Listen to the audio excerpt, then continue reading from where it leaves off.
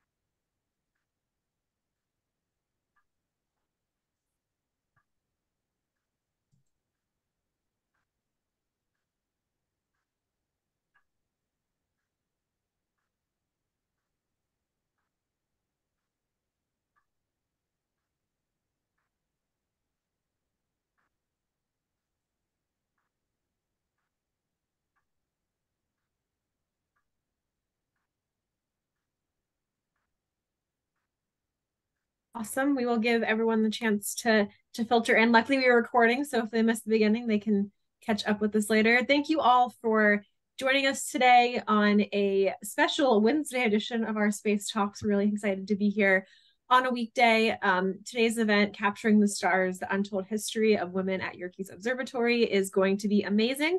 Um, I'm not going to waste any more of your time. I'm going to kick it over to our space network experts and our space and Yerkes experts. Um, so Dave, if you want to get us started, go ahead. Yeah, thank you, Natalie. Welcome, everyone. Um, I'm Dave Fisher. I'm the president of the University of Chicago Space Network. We are a uh, an alumni organization. We're open to all alumni and current students. And, and we exist for, for, for the very simple reason of bringing people together who care about space.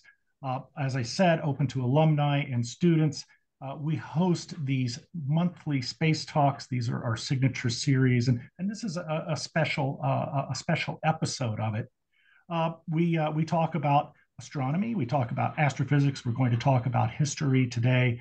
Uh, we talk about new space companies and about financing them and about creating them and making them go. Really, uh, the wide range of things about space. So if you are interested in joining us, we'll put some information into the chat during the uh, conversation today to, to provide links. What we'll do today is have uh, Kris and Rich talk to us about this topic.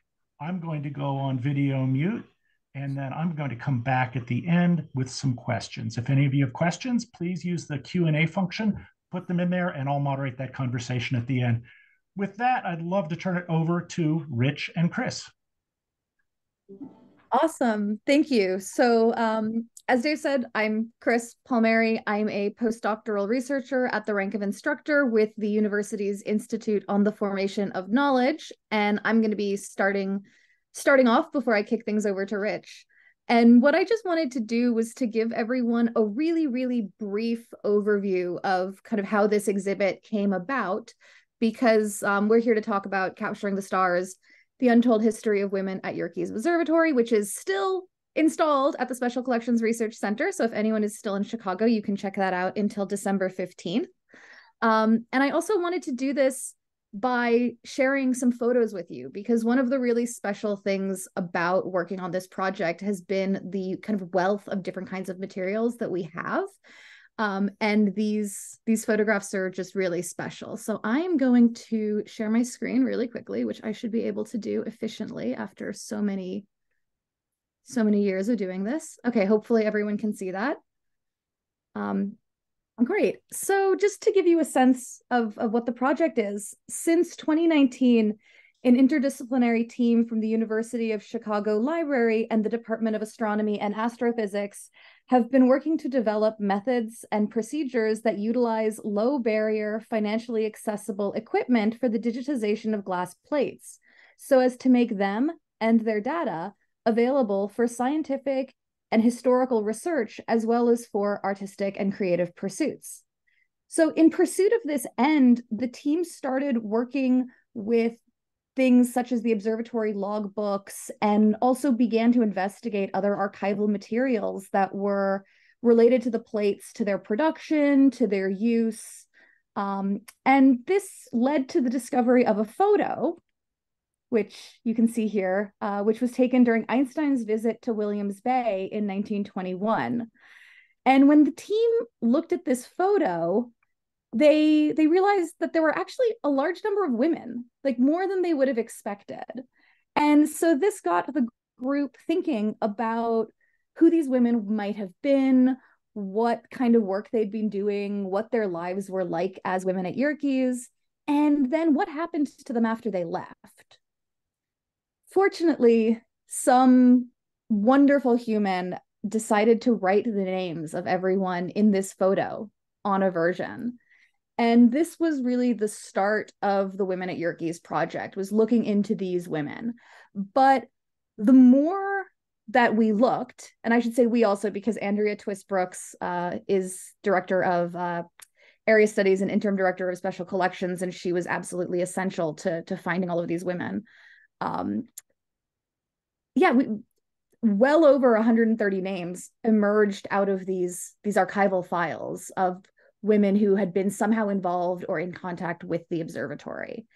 And the research, as it kept growing and as it kept evolving, we were really able to establish that women were doing science at Yerkes in this period before 1930. Um, they were not only calculators or secretaries, they conducted research, they earned advanced degrees, they collaborated with peers of both sexes, and they they remained involved with astronomy even after leaving Yerkes, um, many for the rest of their lives. So the exhibit was designed in order to foreground the stories of these women, as well as to in introduce visitors to the kind of science that they would have been doing at Yerkes in this period. Um, but I'm I'm really not here to talk at you today, and so what I just wanted to do by way of kind of brief conclusion to this introduction was just to show you some of the photos that we have um, in order to give you guys a better sense of what um, the materials in the exhibit look like and the kind of um, stuff that we get to play with when we're trying to figure out who these women were and what they did. So just very briefly, this is Harriet Parsons, and she was uh, a student who got her PhD at the University of Chicago. She was very much um, self-funded and she cobbled together research funding in such a way that allowed her to get the phd um, and we have these lovely letters where she's talking about asking for reference letters uh, writing to the university to get free tuition. And you can really see the amount of grit and determination that she as a woman had to exert in order to ensure that she could get this phd we also have evelyn wickham who got her master's degree at the University of Chicago. And she's particularly interesting because she left Yerkes to go work in the engineering laboratory of AT&T. Uh, she also, we have evidence that she used the 40 inch telescope as an observer in 1919, which is important because at this period, women weren't even allowed into the dome at Harvard College Observatory where their telescopes were kept. Whereas here at Yerkes, we have Evelyn Wickham uh, working with the telescope herself. Uh, Vera Gushee is another one of the women that we um, feature in the exhibit. Uh, she also got her master's degree from the University of Chicago. And this dress that she is wearing on the left in this image, one of the students in my class uh, recreated this dress. So if you go to the exhibit, you'll actually see a full replica of this outfit uh, there, which is incredibly exciting. And then finally, we have Alice Farnsworth, who is arguably the best known of these women because she went on to become a professor of astronomy um, at Mount Holyoke. And she kept coming back to Yerkes throughout her life, even after she got her PhD. So the, the group photo here has her when she was a visiting um, faculty member. Actually, excuse me, she wasn't visiting. She actually replaced Parkhurst after he passed away um, in 1925 so that she could finish his uh, projects. Um, here we just have another charming photo featuring many of the women I just mentioned to you, but also many more, right? There are there are so many, and it's actually been really challenging to decide whose stories we tell um, because there is really just so much to say. And the last one I wanted to show you here, just to give you a sense of life at Yerkes, this is the ski club in 1910. And I'm sure many of you are familiar with uh, the name E.E. Barnard. Um, and he is here on the left, standing with his skis, leaning on a pole, um, kind of with the rest of the Yerkes community. So that is all I want to inflict upon you right now. Um, I'm happy to return to the the photos at any point and to talk more about these women. Um, and with that, I'm going to pass it off to Rich. So thanks, Kris. Uh, so I'm Rich Kron. I'm a, a, professor in this Department of Astronomy and Astrophysics. Um, and I got involved with this project, as, as Kris sort of indicated to, uh, at the beginning about talking about the glass plates. And we were thinking of uh, how can we uh, take advantage of this uh, wonderful uh, and un, un a completely unique uh, um, collection of images of the sky as it was 100 years ago. And I've been doing that with a group of undergraduate students uh, because um, uh, because it's it's more fun to do something with uh, with with, uh, undergraduate students than to, than, than not. Uh, but in particular, I was part of a uh, the development of a of a major program in in our department for for undergraduates. And one of the features of that program was to uh, was was to feature research projects. So when it when it became uh, evident that the that digging into the plate archives at Yerkes uh, was something that we needed to understand, uh, that was uh, that was a perfect match. So that's how it started from my end. And I, I just wanted to say, uh, amplify a few things that that Kris was getting at about the multidisciplinary uh, nature of the of this work. So the um, uh, we've been working very closely with with the archivists. Uh, Kris is is on the the history side. Uh, we have uh, digital humanities that's part of the game, and there are other elements of the library, such as a preservation group that that is also involved. So it's it's really quite quite an interesting mix and it's been fun to introduce the students to these various uh, other aspects of, of the university's uh, um, um, you know departments and and and, and expertise. Um, but but let me just give one or two examples of of where it is that, from my perspective as an astronomer, having a connection with the with the history side or the archive side has has been has been interesting. So on the history side, the the the logbooks that Kris mentioned, which are the the records that you keep at the telescope at night while you're taking data uh, are, are uh, essentially record the the number of the plate, the type of plate, uh, the the uh, where the where the telescope is pointed, that sort of stuff. And if you just look at the logbooks uh, on an individual basis, on an on a plate by plate basis, where you just want to know more information about what the picture is that you're holding in your hand, um, that's that's one thing. But but it occurred to me uh, fairly early on that that these logbooks are an, just an amazing record of of what was going on at the observatory on a daily basis or a nightly basis. So if you look at it not on a on a plate by plate basis, but but as a continuing narrative of who was doing what, and you you start to build up this picture in your head about about um, about the collective effort at the observatory.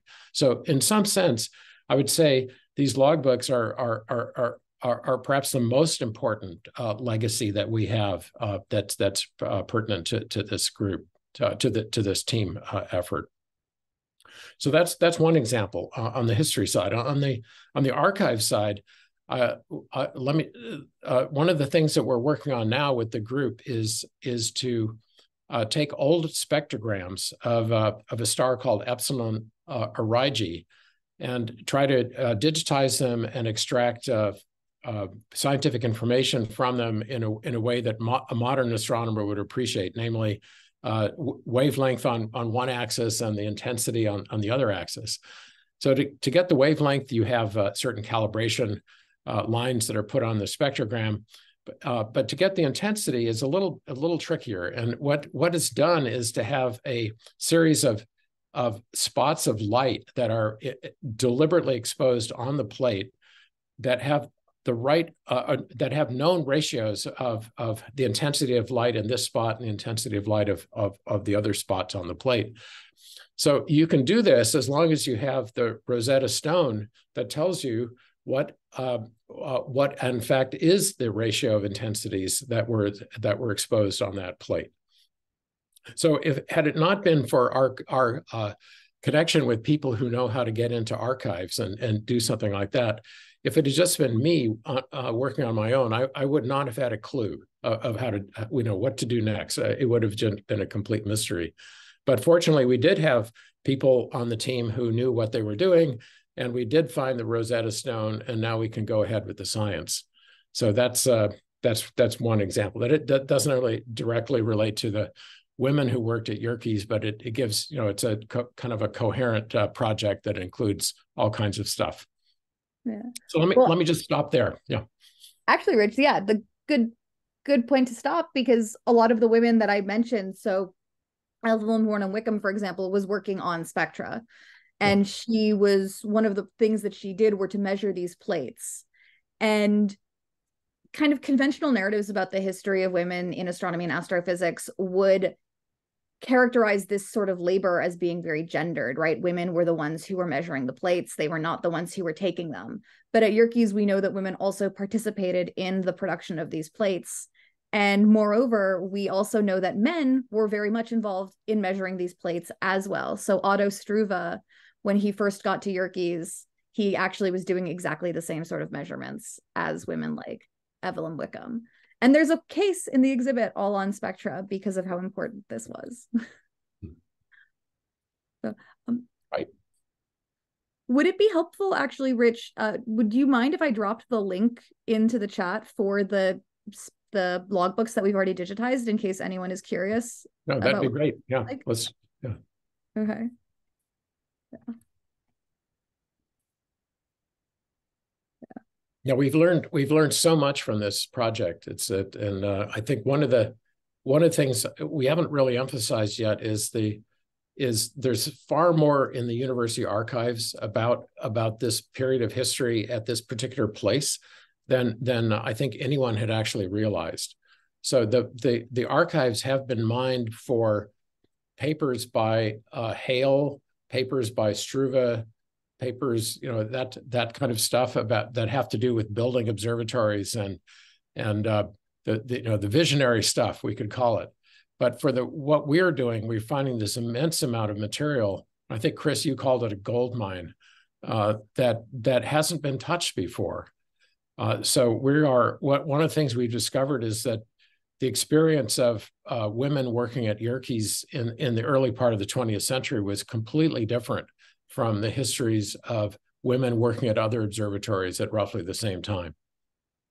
Mm-hmm. So it's new, and that's that's why we call it the untold history, right? Yeah, and again, just to go back to um to, to reemphasize Rich's point about the interdisciplinary collaborations, right? I am not an astronomer, and it would have been absolutely impossible for me to make sense of the kind of work that the women there were doing without conversations with Rich and with the undergraduate research assistants. And we've really been working together to kind of reconstruct these practices and to to get into the minds of these people uh, trying to understand what it was like to be there which has just been really fabulous Kris and Rich, you, is is this an appropriate time to step in with with some some questions? Awesome. Yes. Yeah. Uh, I'd like like to absolutely invite everybody online to use the the Q and A feature here in Zoom. If you have some questions you'd like to add as well, I don't see any questions yet, but I will do my best to uh, to get those posed. Yeah, uh, the the first question that comes to mind for me is is that uh, uh the um, um, the the fact that the work that was going on at Yerkes wasn't as as uh, gendered uh, as work that was going on at other observatories at the time raises the question of why. Was that something to do with uh, the, uh, the, the individuals involved? Was it was it uh, a, a, policy? Uh, what did did you did you have a chance to dive into that at all and and reach any conclusions? Mm-hmm. yes. So it's it's kind of a multi-pronged answer. So on one hand, just the location of of the observatory and of Williams Bay itself was really special because it was both remote but it was also accessible. So you could get there by train. And this and it was embedded in a community right Williams Bay which made it easy for women to find accommodations and places to stay so for example one of the things we see um, in contradistinction to Mount Wilson, right, which was very much built like a monastery. There were no places for families to stay. Very famously, didn't have women's bathrooms, and it was really far away from uh, Pasadena. So, or excuse me, from the valley. So you couldn't like go regularly. You couldn't commute, right? And so, um, women just couldn't be there in ways that at Yerkes they very physic they, they could they could walk from their accommodation to the observatory and they could just be present uh, in a very very unique way um, Rich, yeah. do you want to take the next? Yeah, I, I would add to that uh, just the academic side. So the University of Chicago uh, was was uh, co-educational from the beginning, and so when you when you admit graduate students to your uh, program, for, and, and in this case, the uh, astronomy academic program was at Yerkes. Um, there's only one kind of graduate student, and that's a graduate student. You don't you don't have male and female graduate students. They're they're all doing the same thing, and so that accounts, I think, for part of your question, uh, Dave, about uh, about the the academic side, and then as far as the staff side, um, that's that's that's that's an interesting question, and and some places had uh, female uh, computers, and some had male computers, and some had both. And mm-hmm. I think Yerkes was in the category of both. Yeah. Whereas yeah. someplace like um, Harvard and Mount Wilson tended to have kind of groups of women doing this labor in a very physically separated space. Um, mm-hmm. We don't see any evidence of that at Yerkes. Um, and the, the other really major one, um, again, Rich is the the coeducational aspect of U Chicago from its foundation really cannot be overstressed. Like that is so essential um, to just allowing women to be there and to be present on the same footing. But the other really important thing is uh, the director, Frost. We found this was actually one of the most t- tremendous moments, I think, in my life as a historian, was I was going through the archives um, because we had taken a photo that wasn't quite clear, right? So we we photograph the archival material and then we work with it. And so I had to go back to find this letter. And so I'm looking and I'm looking and I read it. And um, Frost talks about how they are running the observatory by woman power because all the men are old, and he puts old in, in parentheses, married men and then he talks about how the women are doing all this different kind of work and how they're having how it's going great. And at the end of the letter he says um, and of course the work of the observatory goes on as usual which should come as no surprise to all suffragists. Dot dot. Like myself. And it's just like this is that was the smoking gun we were looking for. We we really couldn't because yeah we it was special and we were trying to understand why and then we realized oh the director is is actively kind of advocating for these women based on his own political beliefs and it just really demonstrates to me at least the way individuals in positions of power can create climates that are better for people from historically excluded communities that's a very long-winded answer, but it's it's a fun one. that, that, that's awesome to hear. Uh, uh, of course, Don Osterbrock wrote uh, a history of Yerkes Observatory, I think, from the beginning to 1949, and and, and uh, spends a lot of time in that book on on Frost. And frankly, I don't think Frost comes off all that well uh, in that book. And and this is this is a really eye-opening to to another really important side of, of Frost and his advocacy there's a question that came in from Jerry that I, I think you've you've actually begun to answer uh, uh, uh in your in your comments about uh, Frost, but uh, maybe uh, expand a little. It says, could you speak on the role of any significant men? I say maybe other significant men who had the power and the will to help women at Yerkes. Yeah, so this is yeah, Frost was very important. But actually, I don't, and Rich, correct me if I'm wrong, but I don't actually know of a huge number of women who worked directly with Frost because in his capacity as director, he was a little bit more removed. So actually, when we're looking at at people, right, we see, for example, Parkhurst, right, John Parkhurst is working very closely with women like um, Parsons. He he supervised her PhD thesis, also with um, Farnsworth um, E. E. Barnard is another one. Um, he's actually quite interesting because his niece, Mary Calvert, moved to Yerkes in 1905 to become his assistant. And you can, if you look at his publications over the course of the next kind of 10 to 15 years, he will start by acknowledging her. And then the ways in which he starts acknowledging her role in his research become kind of more and more specific um, to the point that after he dies, it's Mary Calvert who finishes the the Barnard Atlas. Um, so yeah, there were a number of men. I think um, Lee also worked a lot with um, Hannah Bardsteel Pettit. Um, yeah, so there were there were actually quite a number um, there. Yep. Thank you. Uh, the next question comes from um, Steph, uh, and this might be more along, uh, more for you, Rich. Uh, uh, can you say a little bit about what the, the women at Yerkes were researching? I know we've mentioned uh, taking.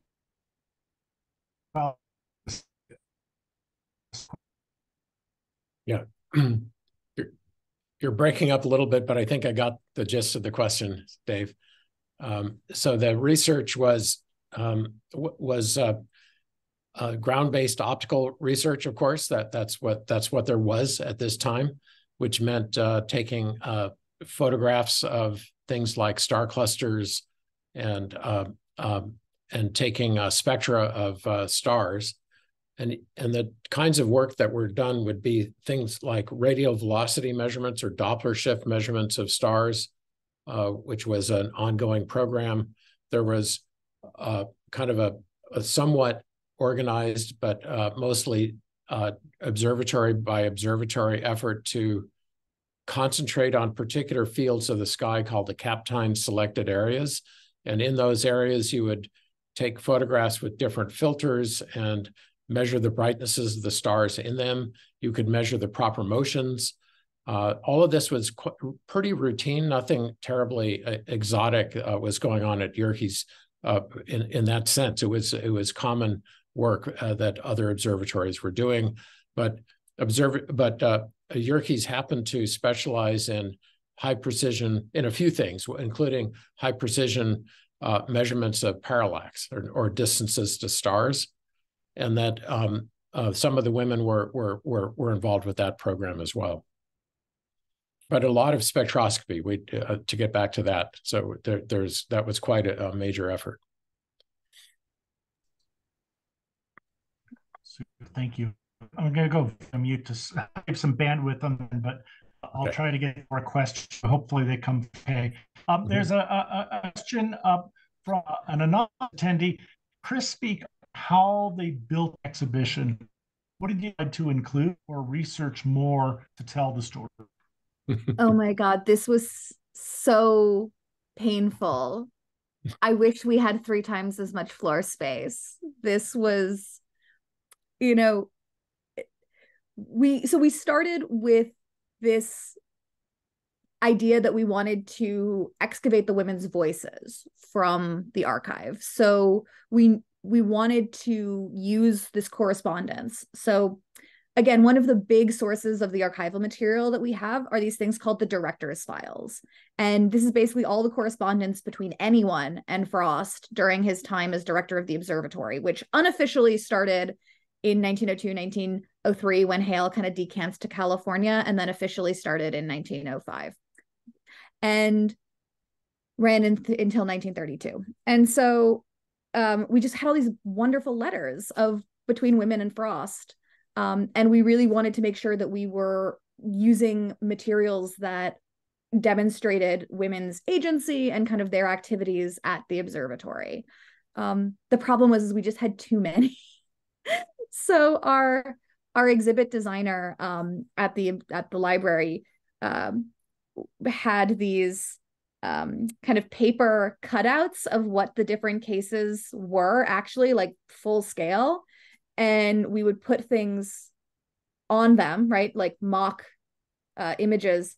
And we had to cut just huge amounts. Um, so it was it was actually it, it was more of whittling down than of building out because this is it's just such a phenomenal uh, collection. And then kind of once we knew what letters and what stories we wanted to highlight we were able to find other items to help illustrate these stories. So for example one of one of the the coolest things in the exhibit is we actually have a millionaire calculating machine that we borrowed. Um, and that was something that women would have done used uh, to do calculations we also have the lens and the eyepiece from the kenwood refractor um, the eyepiece we borrowed from Yerkes and the lens we had at Chicago. And um, to kind of show you what one of these uh, instruments would have looked like, we also have a picture of Mary Calvert at this uh, at this telescope. So it was um, we started with the individual women, and then we we tried to kind of build out uh, from there. I could continue saying a lot more, but I will. Oh, no, thanks, Kris. So uh, uh, that's actually a good segue into a question for each of you uh, that, that came from uh, Nikita, which is what do you, what would each of you think is the most interesting item in the exhibit? And, and, and why do you think astronomers and astrophysicists especially should see the exhibit? Well, let me, let me start with uh, with the second question. So, uh, so I just gave a lunch talk yesterday to our department about the exhibit, and the whole point was to encourage my department to go see it. And my, I think what I was trying to get across was that that that um, you know nothing stands uh, isolated. So we, we the science of, uh, uh, uh, in general, but astrophysics in particular, is this kind of uh, progress because of individual people doing individual things, right? And those what we what we tend to think of history as uh, the the greats, right? The the exceptional people, and but but one of the things we haven't really talked about this at, yet here today, but one of the things that's really come forward is that there's so many other people whose names you have not heard of that are that are really important and and they they are they are they're absolutely essentially part of the story. Uh, their work uh, is is uh, fundamentally important, and they they their stories deserve to be told. So that's that's sort of a a message that that I hope our exhibit gets across, and I and I hope I got across to to uh, my astronomer colleagues that uh, appreciating that you know it's not just a linear uh, you know just a bunch of uh, famous people who have contributed to astrophysics, and each one builds uh, upon the shoulders of, of the one that came before. But it's a much more complex, much more nuanced uh, story with a lot more people. And then uh, Nikita, I think she asked about the uh, uh, what is our favorite object in in the exhibit. Um, so we mentioned a couple of them, but one one of them is the the the relay that was used to uh, light the or and open the gates or uh, start the World's Fair in uh, Century of Progress in 1933. So this the idea was that uh, the Yerkes telescope would capture the light from Arcturus, and that uh, uh, uh, electronic signal would be sent down to Chicago to open the World's Fair. And we have uh, a, a, gadget that was built at Yerkes. Uh, it's actually on loan from Adler Planetarium, but that's there in the exhibit. And uh, one of the Yerkes women, Helen Pillins, is in a photograph. Uh, it's a wonderfully charming staged uh, photograph that shows her twiddling knobs on this machine. it's just very cool. So, uh, yeah, I'm glad you mentioned the Arcturus Yeah, and wasn't Arcturus 40 light years away? So the light from it came from the, the Columbian Exposition in 1893. Yeah, okay. Exactly. That's why, yeah, that's exactly why they chose it. Because the light that was leaving Arcturus when the first uh World's Fair in Chicago happened was now reaching us. So it was uh yeah. No, yeah, I love the Arcturus Kris, box. nice. Kris, what about you? Is is that your favorite too, or do you have a, a another favorite? I just second honestly, favorite? I, I love I, just this this exhibit. I'm just I'm everything in it just tells stories and i i have a really hard time i've already mentioned a number of my favorites um i would say uh I, I talked about um, Evelyn Warren Wickham a little bit earlier and how she left to go work in the engineering lab for AT&T.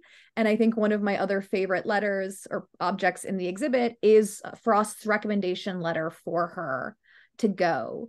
And he basically he says, you know, she's been working here for a number of years. She got her master's degree. She's been doing XYZ. Um, you know, she's worked with the telescope and many instruments, so she will be well qualified to work in your engineering lab. And then he, at the end, he says that we will be sorry to lose her, but we recognize, um, and I'm par- I'm paraphrasing here, but basically we recognize that it's in her best interests to get other experiences and more money. Mm. than we can mm-hmm. offer her here. And that's awesome. The um, uh, the conversation has, has uh, largely been about uh, early 20th century women. Uh, can you talk about uh, two possibly related things? Uh, what about women at Yerkes later in the 20th century? And then generally, where where what did these women go on to do in their careers? Was there a, a common trajectory? Are they all unique stories? Uh, but uh, you know, upon leaving Yerkes, um, uh, did they continue with research, for instance? Yeah. So the first question is the easiest for me to answer, which is that we don't quite know yet. Um, this is the next the next stage of the project um, is going to be looking at women at Yerkes after 1930. So this is really the area that we're moving into. We do know that there were there were fewer during the 1930s, and this is in part because of things like the Great Depression and also just the changing of power. Right, Otto Struve was director of of Yerkes during most of the 1930s, and we had an undergraduate research assistant this summer whose research strongly suggests that Struve prioritized helping emigre scientists as opposed to w- women more specifically. So, um, you know, there there'll be more questions, especially to see what happens later. Um, the economics of the Great Depression also cannot be uh, underemphasized. Um, and yeah, so so stay tuned. Uh, we'll we'll have a better answer to that later. Um, and then as to kind of what happens to them, so a lot of these women do wind up going into teaching, um, some at universities. So um, uh, Farnsworth was professor at Mount Holyoke. Um, Gushee wound up teaching at Smith College for a while. Parsons also had a professorship. Um, and but but Parsons left her professorship when she got married. And so this is still very common um, in this period that when a woman got married, she left her career. Wickham is a little different. Wickham did stay at AT&T after getting married, but then as soon as she had her first child, she left. So there's still this kind of convention that you're not going to stay employed. Um, that I would imagine is something that as we move forward in the century, we'll see changing and kind of anecdotal stories about that kind of ring true. Um, some of the other women, uh, uh, Emily Dobbin is another person who is featured in the exhibit. Uh, she was uh, actually the first woman to get a master's degree in astronomy from the University of Chicago. And she actually went on to become a very active um, suffragette. So, um, and I believe we have found her working as a real estate agent later in California. so there's there are there are kind of yeah lots of different paths that these women um, took, but just the general, the most conventional one was winding up in teaching. Dor- Dorothy you know, Block, that... another example. Oh yes, please, yeah. Yeah. So Dorothy Block uh, was uh, was a graduate student. She uh, she actually uh, came from Columbia. I think she got a master's degree at Columbia. Then she got another master's degree at Chicago.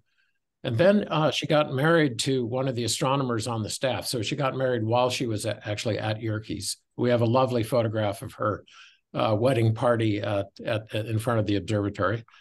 And then she went, um, her, her husband was uh, John uh, Paraskevopoulos, I think, uh, uh, and he uh, he was from Greece, and so he went back to Greece as uh, the head of the of the uh, Greek National Observatory, with the expectation that they would build a big telescope, but and that actually never happened. But there were connections with with with Shapley at, at the Harvard College Observatory, and the two of them managed to get uh, land the, the responsibility of of running the Harvard Southern Station at Arequipa in Peru. And, and so we've we've followed this, and, and so John gets the credit for being the director, but Dorothy turns out to be probably the the director, uh, you know, de facto. Um, so she, she is an example of somebody who went on to kept keep doing astronomy and doing it in a way that doesn't show up easily in terms of her publication record. And that's one that's another lesson we've learned that the publication record is is a very poor metric for uh, your contributions to the to the to the discipline. Yeah. And and Rich, thank you. To to piggyback off of that, we have another woman, um, Hannah Bard Steele, who marries Edwin Pettit. Mm-hmm. And again, she quote unquote leaves astronomy after getting married. She does work as a as a computer at Mount Wilson, where uh, Pettit winds up getting hired her husband. But she she completely disappears from the record, um, and it's it's just it's obvious to me at least, and I think Rich would agree that like these women are not stopping astronomy. Like they are still st- remaining incredibly involved even after getting married. Um, and so this is again one of the things that we need to kind of do a little bit more digging to to fully excavate their kind of post marriage contributions. Can, can, can, each of you talk a little more to that digging? I mean, these are some really fascinating uh, stories. If finding somebody who disappears from the astronomy record and shows up as a realtor in California, uh, uh, that story or others, can you can you kind of walk us through a little bit of what what this this this sleuthing actually looks like. Uh, how are you how are you doing this? How are you finding these women if if if their um, if their publication record isn't there, which I would imagine is the sort of the fundamental way to to track an astronomer, at least a male astronomer. Yeah. So again, this is uh, so Andrea is the one who did the work in the the U Chicago archive, which is literally you call the box, you open the box, and you start going through the letters. Mm. And the U Chicago archives, um, the director's files are organized alphabetically and chronologically. So basically, you'll have a box and it'll say something like 1912 to 1914, A through B.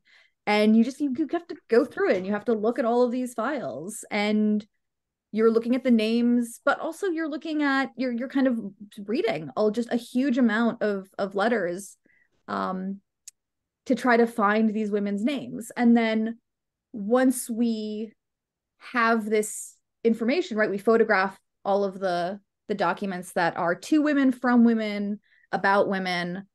Um, and we created these Excel sheets. So Rich mentioned we are now working with um, Oker at the university, which I'm sure he can t- talk a little bit more about. Um, but originally we just had a spreadsheet and as you're going through the spreadsheet, you start seeing, okay, there's actually a lot of letters about this woman or to this woman or from this woman.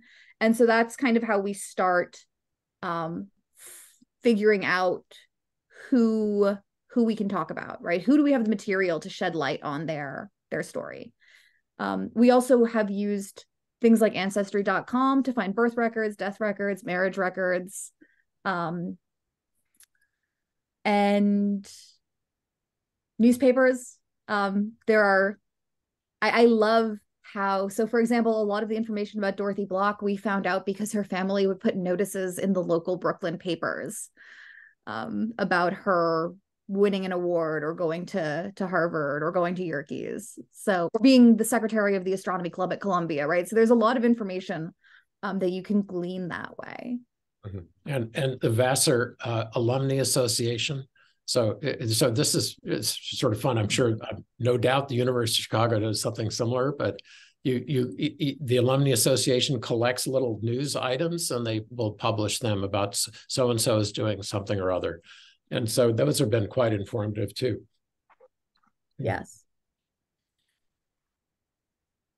That's really cool, Rich. Um, a, a, question for you. I uh, I'll, I'll I'll give away a little about both of our ages. Um, uh, I met you in 1985 at Yerkes Observatory. Um, I'm I'm I remember uh, you know uh, part of the zeitgeist at, at Yerkes. You know these stories about the the great figures from the past. Were were there any any uh, any discoveries you turned up in this research that that upended any of those sort of uh, common stories that were told around Yerkes about the the big figures who who had an impact on it? Right. So those those stories uh, would have been the relatively recent stories, uh, meaning uh, from the if we're if we're talking about 1985, it would have been from 1965 uh, onwards would would be the kind of period of time that you would that somebody like you or I would have been hearing uh, things repeated. Um, so offhand, I can't think of anything that relates directly uh, to this. Um, but I think the, the the main thing would be what what we've already discussed, which was that the the the Frost years as director um, have have been kind of um, uh, uh, the the narrative has been that was a bad time for the observatory because of Osterbrock's book. Uh, as you said, uh, Dave, Osterbrock doesn't particularly uh, uh, it, it, doesn't have a lot of good things to say about Frost.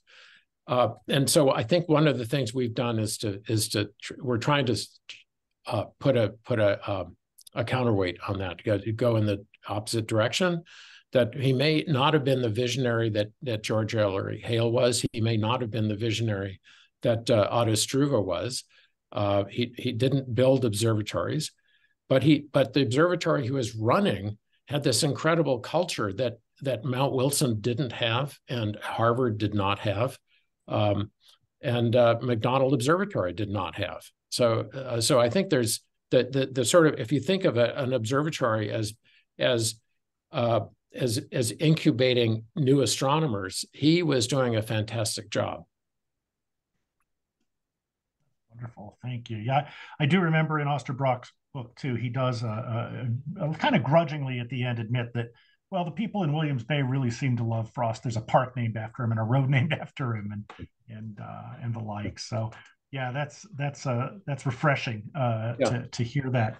Um, it's worth uh, it's worth uh, adding, Dave, just just a second here that that Frost also did things like um, reach out to um, uh, uh, astronomers in Europe who were uh, who were oppressed for whatever reason. For example, Russian astronomers during the the Russian Revolution, who who were uh, in in hard hard times, and other refugees and things like that. This, this is a part of his his character that um, is is not well known. Thank you.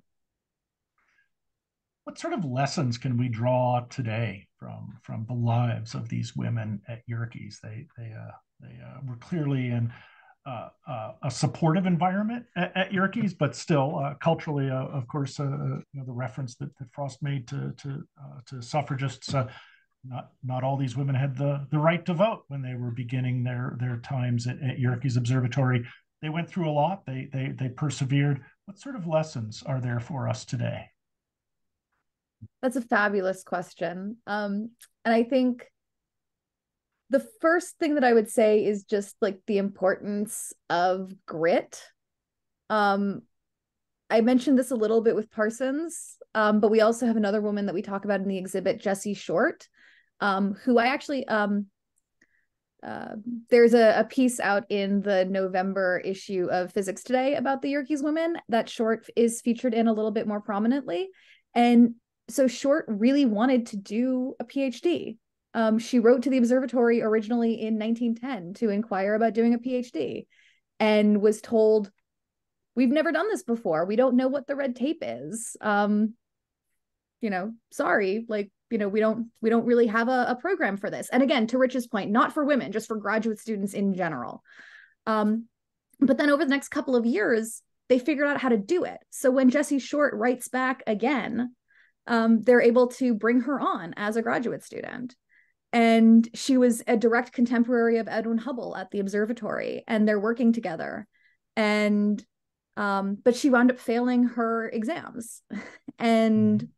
so she never got a PhD, but she ultimately wound up becoming a professor of mathematics at Reed College in Portland and you know the the things that you see in her letters between her and Frost and Parkhurst is just her her absolute determination um, and I think that that's that's really kind of inspiring to me that no matter what happened she just kept writing back she was like I I'm, I want to do this um, and the other would just be again as I already said like the importance of individuals to create the cultures of institutions um, I do think it's really important that you know, Frost was the director and that all of this was able to happen under his watch. Um, but that was two. right.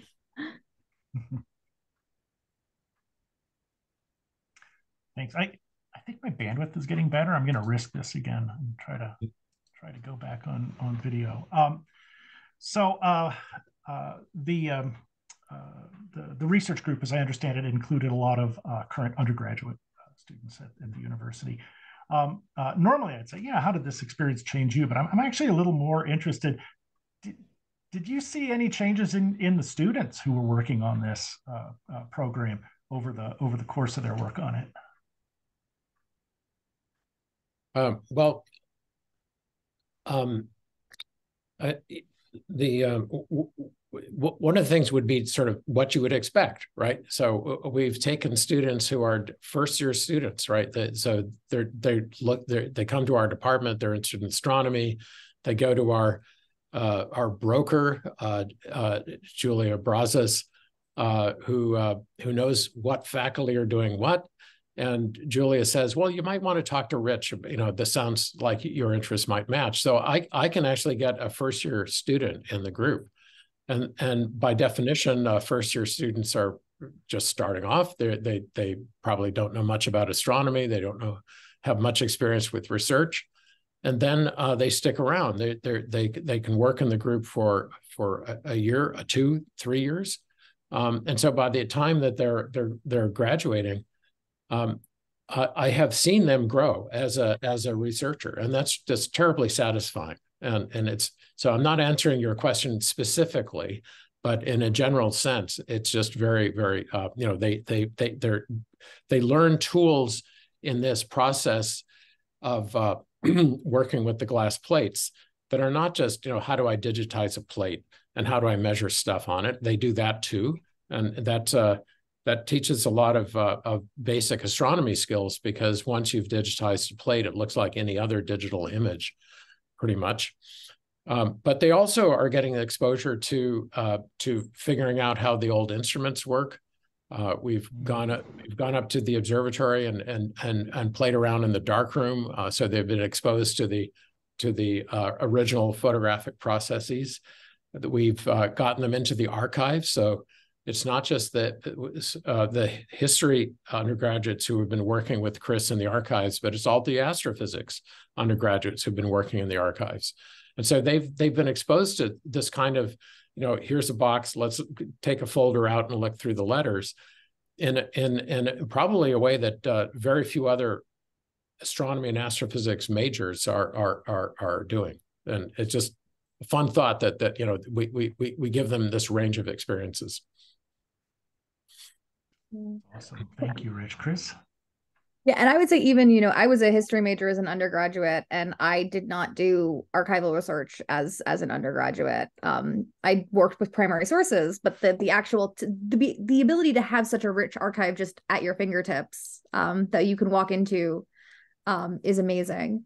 Um so I would say I um I taught a class last winter um on this exhibit, right? And the students who participated in the class were invited to contribute to the exhibit and to help curate it which was I know you didn't ask about changing us, but I mean that was a phenomenal experience for me as as a as an instructor.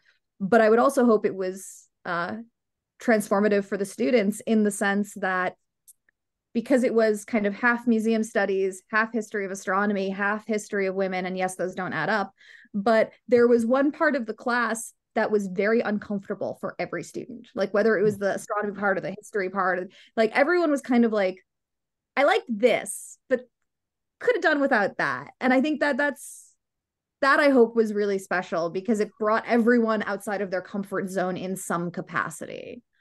Um, so I'd hope the historians learned a little bit more about science, science learned a little bit more about history, and and that they all learned a little bit more about kind of thinking about gender and science and the impact of gender in science. Um, or at least I would hope, right? I can't. yeah. that, that's that that really is awesome. I, I I might I might suggest that uh, that you you should you should speak about school uh, as well, especially here in the world. Uh, it is uh, it, it it's for a lot gender-based discrimination. It's better today. Yeah, I mean we all say that, but it still has a long way to go. And I think uh, lessons like like the one from Frost would be awesome for everyone. Um, I see we're coming near the end, so I'd like to turn it over to to you guys to to just wrap up with with final final thoughts. Uh, Kris, how about uh, you go first? Um, well, just yeah, thank you everyone for for coming to this. This has been really phenomenal. Um, and if you can go see the exhibit, uh, if you can't, go read the Physics Today piece. Uh, and yeah, just uh, if you have any kind of thoughts or questions, feel free to to message me. I'm always happy to to talk more about this. Um, yeah, thank you. Kris, thank you. Yeah. Rich, how about you? Yeah, so I, I'd say the same. I'd very much appreciate the opportunity to talk to this group. Uh, happy to talk more offline. Um, and um, um, uh, it just you know one of the, I hope this has come through very clearly, but but this whole project has been just enormously fun, right? It's been very uh, rewarding. Uh, I've learned a tremendous amount, and um, we're trying to make sure other people can learn a tremendous amount as well uh, through this exhibit and other things that we're doing. And Kris has not said this, but but she wrote the Physics Today article. so yes, highly recommend it. Thank Download you. it and drive up my metrics.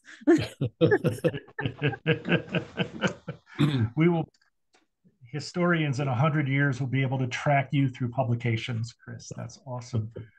Thank you thank you guys so much. You know uh, uh, yerkes has a, a, a, profoundly important place in my heart. And so this has just been a, a really wonderful experience for me to take part in. Thank you for that on behalf of the space network and the audience thank you for that um, for the audience members, uh, we've put in the chat ways to sign up for our group and to get our newsletter. And we invite you and welcome you to, uh, to future events. Rich and Kris, thank you both very much again. This has been an awesome presentation and, and just, just wonderful. Thank you so much. Mm -hmm. Thank you, guys. Okay. Bye. Bye.